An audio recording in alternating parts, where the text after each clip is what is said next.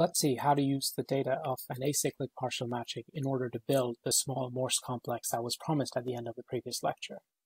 Uh, the setup is not going to be surprising. Let K be a simplicial complex, and let sigma be an acyclic partial matching on K. Uh, for uh, convenience of notation, I'm going to take the liberty of writing uh, for any pair of uh, simplices sigma and tau and K, uh, let's write this uh, tau colon sigma. I'm going to call this, uh, I don't know, incidence number. Um, this is something in 0 or plus minus 1 um, to indicate the um, coefficient of sigma in the boundary of tau. So assume that the vertices of K are ordered so that this actually makes sense. Um, and so you have a boundary map, um, a simplicial boundary map of tau. And then if um, uh, sigma is an odd or even face of tau, then you get uh, plus or minus 1 the other way, minus or plus 1. And if sigma is not a face of tau at all, then you get a 0. So this, this incidence number is uh, non-zero only when uh, sigma is a codimension one face of tau. Um, good. So the, the way to define the boundary operator uh, for the Morse chain complex is to assign to each sigma path um, an algebraic contribution, a weight. Uh, so here's the definition of that weight. Um, the weight of a sigma path uh, and maybe we've all forgotten what a sigma path looks like, but here it is. So sigma 1, tau 1, sigma 2, tau 2, all the way to sigma m, tau m. So that's the entire um, path. And um, the requirement, if you remember, was that this was uh, in the matching, basically partial matching, uh, all the all the backward pointing, the less thans are going to be in, uh, in the partial matching. So this is the number uh, W of, uh, of rho, and this is going to be either plus or minus 1 in whatever field you're uh, choosing to work in, uh, given by, and now uh, I'm going to write down something complicated, but you should not think of it as anything complicated. Um, it's um, uh, it's all being generated by a simple rule. When, when you look at a less than, then you have an incidence number that is tau bigger than sigma, so tau colon sigma. Whenever you see a less than sign, the way we have in the first pair, um, you, um, you write that with a negative reciprocal. And whenever you see a greater than sign, as you see for tau 1 next to sigma 2, you write down the ordinary incidence number.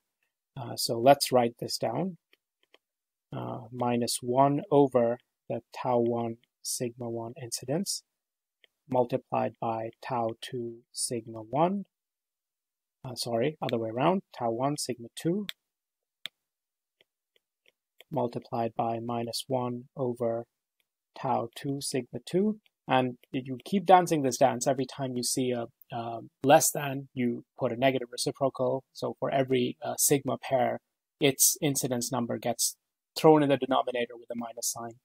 And every time you don't have a sigma pair like tau i next to sigma i plus 1, uh, you just put in the ordinary um, incidence. So this penultimate term, I think, is going to be tau m minus 1 colon sigma m.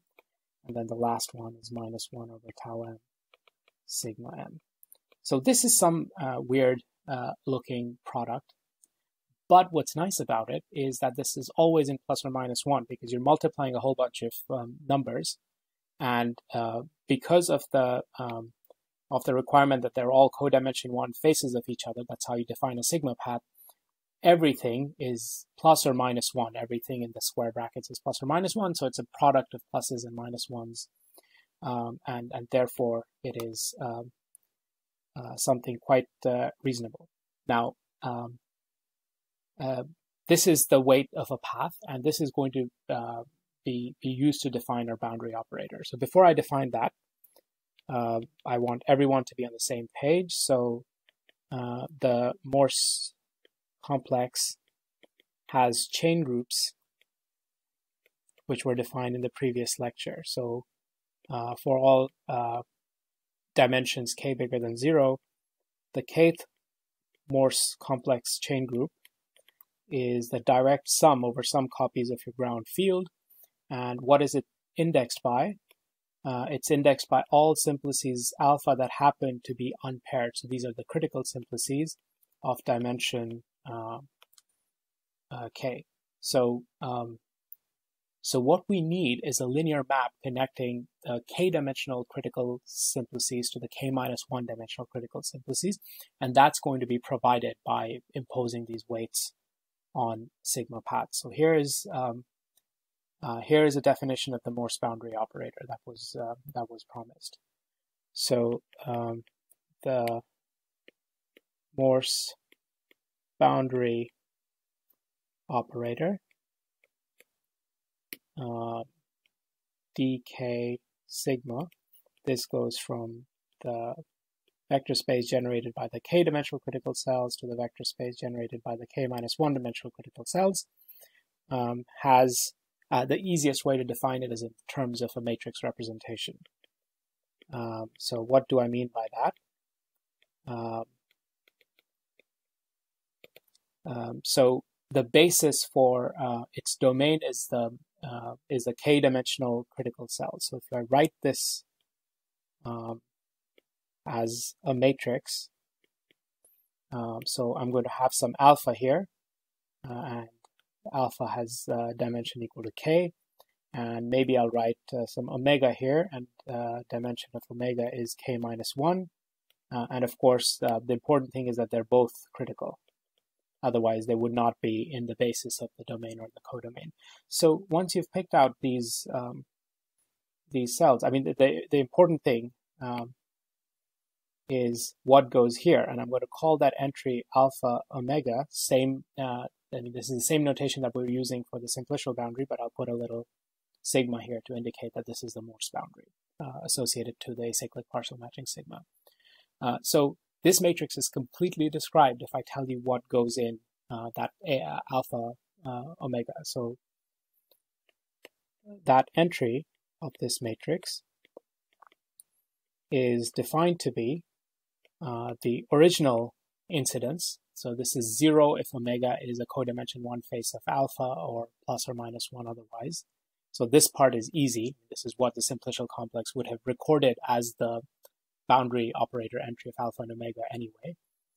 Um, plus stranger stuff. Um, so there's going to be a sum over all um, sigma paths.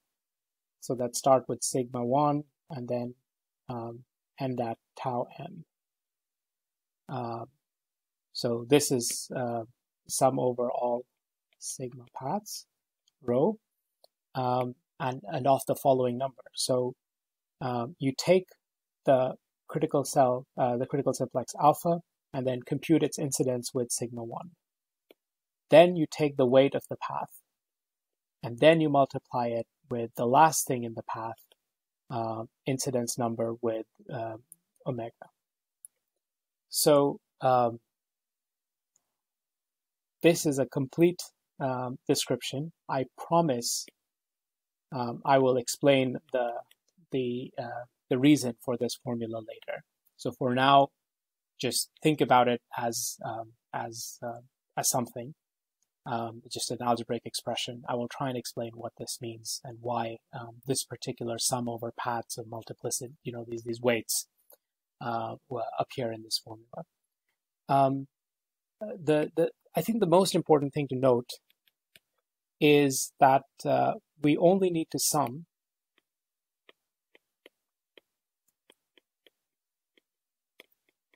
over um, uh, a few sigma paths to compute uh, this alpha uh, omega coefficient, the entry in the matrix.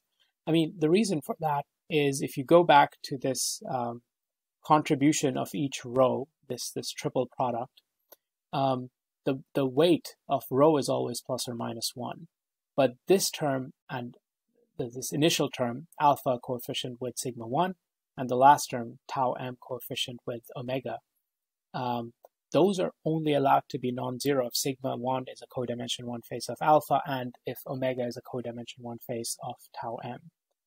Uh, right, so uh, so only the rho um, sigma 1, tau 1, um, tau m uh, satisfying um, this condition will count. I mean, you have to have um, um, the alpha must have sigma 1 as a face, and then, of course, you have the entire path rho that ends at tau m, and then tau m must have uh, omega as a face. So this is your rho in the middle.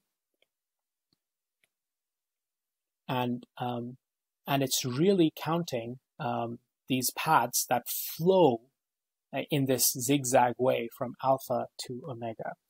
And let me quickly um, say a little bit about um, geometrically what that looks like. So um, here's a perfectly good acyclic partial matching on a simplicial complex that looks very, very much uh, like a circle. So, so here are the, uh, I've drawn all the arrows and you can look at this this edge is uh, unpaired with anything so it's uh, it's critical and that vertex is unpaired with anything and it's critical and if you try to build the Morse complex uh, for this example so maybe we can just um, uh, move it to the side and make this an example on its own um, so here's an example so K is the circle and sigma is the system of red arrows and the blue cells that have been highlighted, the edge and the vertex are critical. The Morse complex is going to be, um, uh, so in dimension um, zero, you only have one critical cell. So let's call this uh, alpha and let's call this uh, omega. So this is generated by alpha uh, sorry, omega, because it's zero dimensional, uh, omega. And then you have another here, this is generated by alpha, and everything else is zero. Um, and there's just a single uh, number here that we have to work out. The entire boundary map is just a single number d. And the way you get that d um, is uh, you want to find the coefficient uh, here, and what you have to do is look at alpha, then look at um, its boundary, that's sigma 1. So all paths going from the boundary of, sig, uh, of alpha that end up at omega. So this is going to be one path over here, and that's going to be another path over here. And um, well, because we know the homology of the circle, um, d is not equal to zero in this case. So there's a rank, uh, sorry, d is exactly equal to zero in this case. So there's a, uh, there's a zero map. And if you use this baby chain complex with one um, dimensional chain group in dimension zero and one, and zeros everywhere else, you get the right homology of the circle. Whereas if you'd use the original simplicial uh, chain complex, think about uh, how many vertices and edges you would have had. I mean, so there's one, two, three, four, five, six. So that instead of f would have been f to the sixth. And there's one, two, three, four, five. And this would have been some sort of, uh, is that right? One, two, three, four, five, six. No. So it would have been a six by six matrix that you'd have to sort of manipulate with row and column operations. Uh, and here with the Morse complex, there's no work to do. I mean, this F map being by 0 to f. So you just count the dimensions and those are the homology groups. So this is fantastic in terms of simplifying computation and just how many cells you can, you know, these simplices you can just trash uh, and still get uh, the right homology. Um, so, so at least, um, uh, you know, whether whether this uh, ridiculous formula makes sense or not, at least the structure of how these gradient paths are flowing between critical cells and contributing uh, entries to the boundary operator should be relatively um, uh, at least intuitive, if not obvious. Okay, so the main um, thing that I want to prove here is the fact that the thing we call a boundary operator is actually a boundary operator. So uh, dk sigma composed with dk plus 1 sigma equals 0, um, i.e. the Morse complex, the Morse chain complex, is actually a chain complex. Therefore, it has a well-defined sequence of homology groups. Um, and the proof of this result is uh, it's a bit of a calculation, um, but but I think it's uh, it's good to at least um, set it up. Uh, so by induction, um, it suffices to consider uh, the case where sigma has only one pair, because you can um, you can just keep doing this one pair at a time. Uh, and so because sigma has only one pair, there's only one possible gradient path, which is the one I've written right there, sigma less than tau. That's it. No other gradient paths are allowed.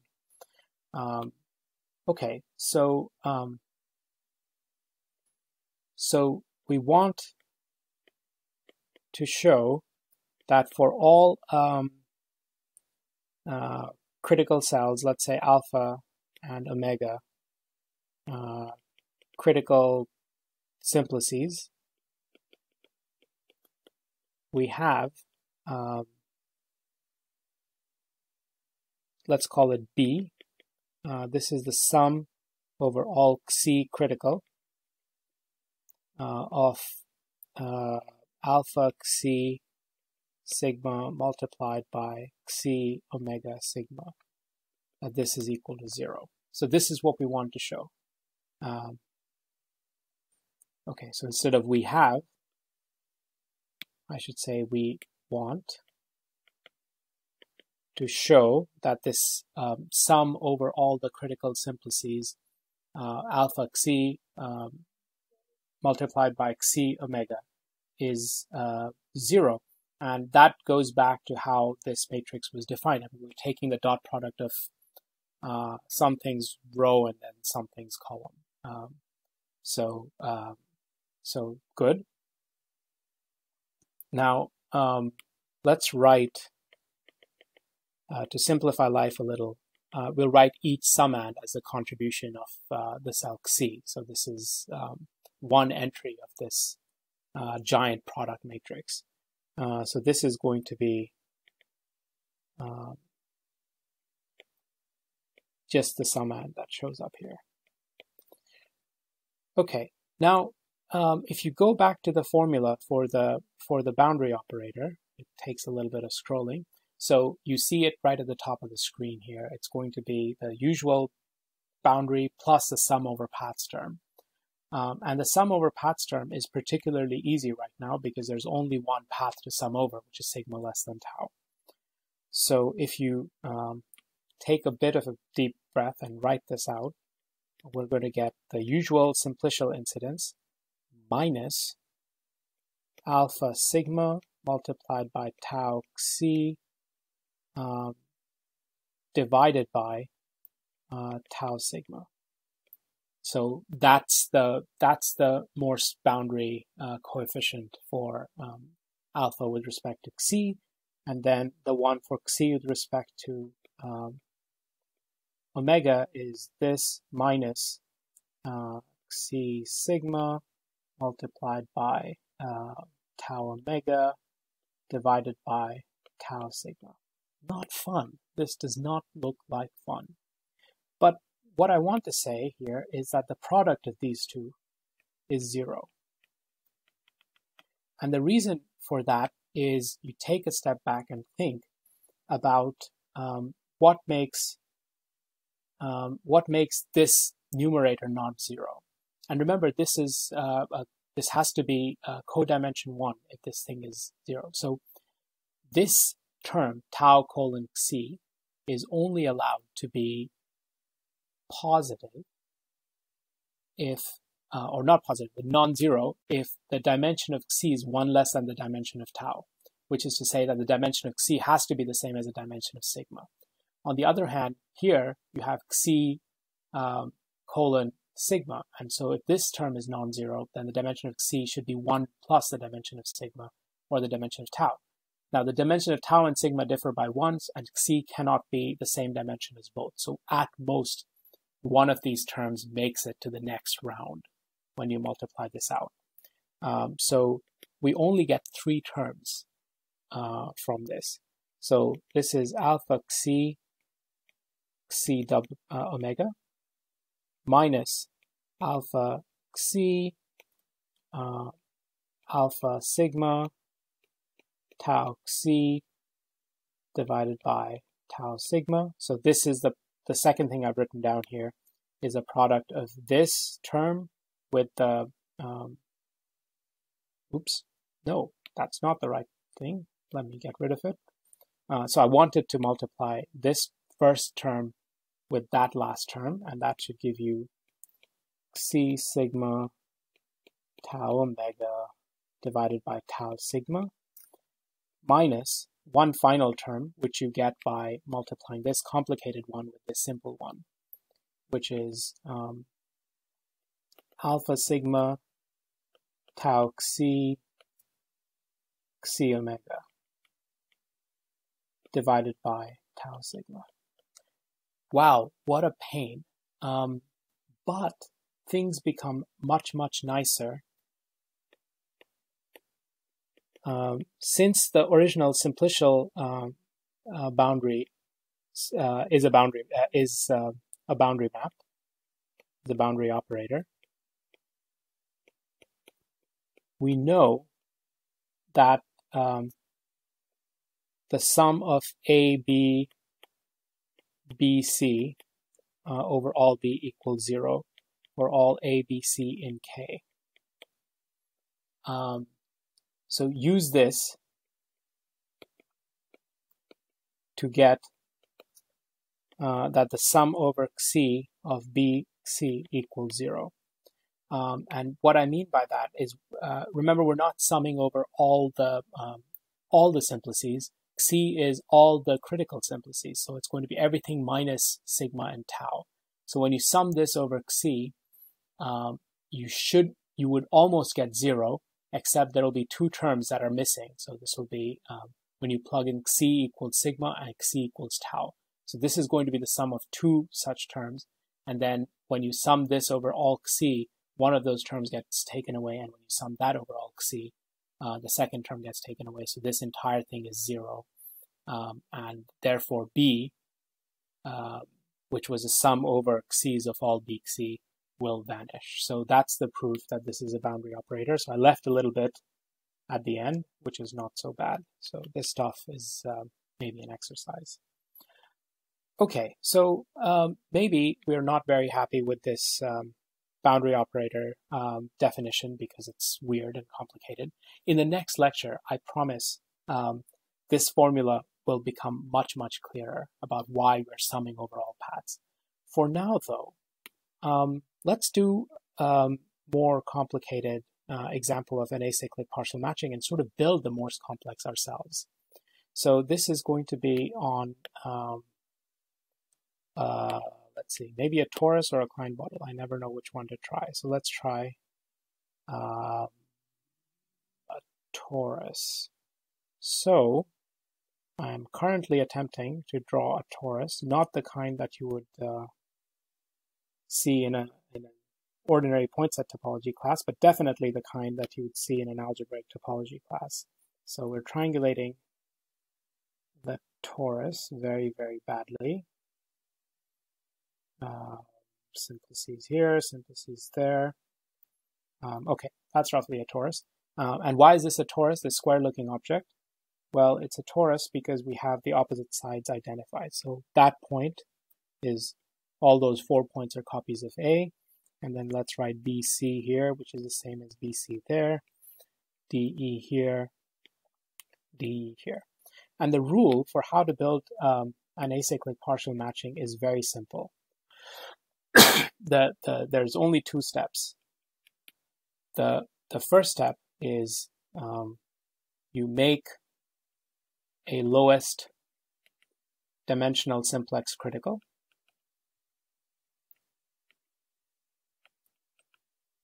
And the second one is uh, make pairings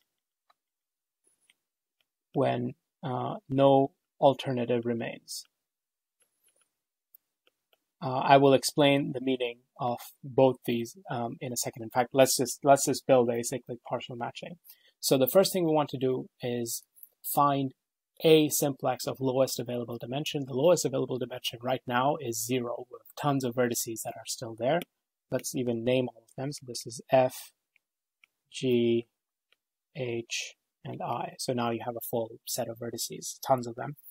Um, and let's just take the first one alphabetically. So this A is now considered critical. And so we've executed uh, step one once. We've taken a lowest dimensional simplex and made it critical. And now what this two means is if you look around um, uh, the, the edges that had A as a vertex, um, if A is forced to be critical, that means that those edges cannot be paired with A, because uh, if A was paired with something, it wouldn't be critical. That means they have only one other vertex that they could possibly be paired with. So make that pairing. So for instance, this edge AD and the vertex D, there's no choice. Um, AD cannot pair with A, so it must pair with D, and you have to be mindful that there are two copies. So that's one pairing. Similarly for E, um, there's E and AE have no choice but to pair with each other. Uh, C and AC have no choice but to pair with each other. We're still doing step two over and over because we have pairs available to make. So um, you can get a little bit more exotic. So F and A will pair, uh, B and A will pair. Um, two copies of that. And so um, what else can we pair? Well, if you look at um, um, the this this edge um, IE. Uh, it could have paired with E or it could have paired with I, but E is already taken. Um, so uh, you you can just pair it. The only available thing to pair that edge with is I. And of course, you had a few choices there, but that's um, that's neither here nor there. And now, if you take a look, for the same reason, G will also be paired with something. Uh, it could have gone left, but but it doesn't matter. So we'll make H go straight to A as required. Okay. Uh, at this point, if you take a look, all the vertices have disappeared. Every vertex is either critical, which is A, or every other vertex is paired with an edge. Um, it might seem that this is all the pairings that we can make, but that's not the case. Um, for instance, if you look at the lower left corner, there is a 2 simplex, here it is, ABF, and it's lost two of its edges to pairings, but it does have this wonderful edge BF available uh, to pair with. So you can make another pairing. All of these pairings that we're making are a consequence of the fact that A was critical and therefore not available for pairing with any of the things around it. So here's another simplex with no choice. Uh, here's another simplex with no choice about who to pair with. Um, and I think we're at the end of the line. So now if you take a look at any of the one-dimensional simplices or the two-dimensional simplices, you will see that, that you have um, uh, you have alternatives. So there's no canonical pairing that's possible. If you look at BC, this is a face of BCG, and it's also a face of BCI on the other side. So it's not like you can pair it in because there is an alternative available. This rule 2 does not apply. Similarly, this edge FH, you can directly see the two higher dimensional simplices. Every simplex that's remaining, two simplex that's remaining, um, maybe I forgot this one, um, has at least one, um, uh, has at least two faces, two edges remaining. So it looks like we're stuck. Um, so we go back to step one, and we make a lowest dimensional simplex critical. So now we have to choose an edge. And um, alphabetically, I guess it makes sense to choose, uh, let's use another color, BC as critical. So now BC is critical, and uh, you immediately see in the two simplices around it, um, here it is, so BCI, that's one two simplex, and uh, BGC. Uh, if BC is unavailable for pairing with, then uh, we, we have only one candidate each. And the minute that edge disappears, you have only that candidate here.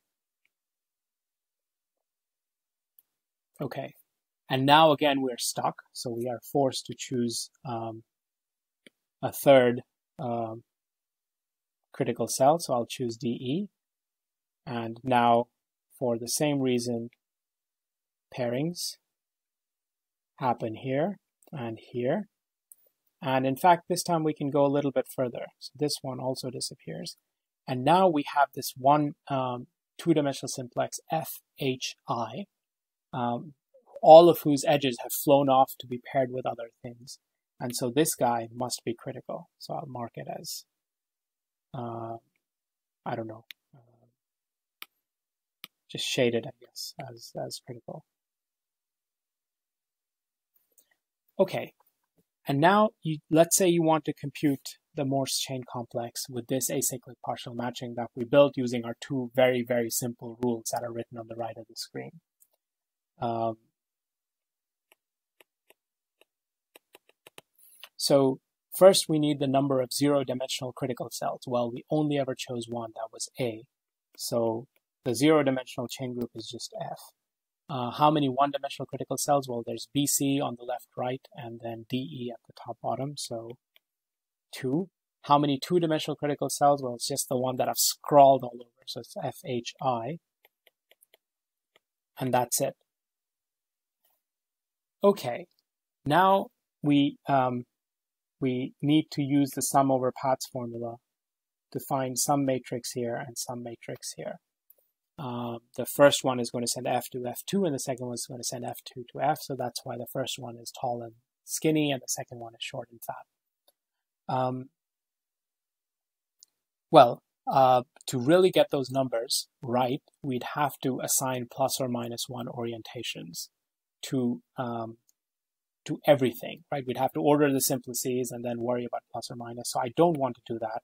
So let's just say we're doing things over Z mod 2. Uh, and then you just get to count how many paths there are because uh, plus and minus 1 are exactly the same number in Z mod 2. They're 1. So um, let's zoom out a bit and take a look at this uh, picture.